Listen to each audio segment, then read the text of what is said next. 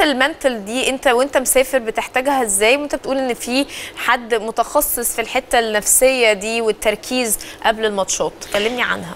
هو ال mental آه، بيلعب على حتة آه، بي- أول حاجة أنت أول ما بتتعامل مع الدكتور ال mental بيبدأ يتكلم معاك في جنرال كده يشوف آه، إيه الحاجات ال- آه، هو بقى بيعرف يشوف دي شغلته هو بقى بيعرف يشوف أنت من طريقة كلامك بتخاف مثلا يكلمك عن البطولة فيشوف آه، ردود فعلك يشوف الحاجات دي فهو بيبدأ يشخصك أو يهيئ آه، هو هيبدأ يشتغل معاك إزاي.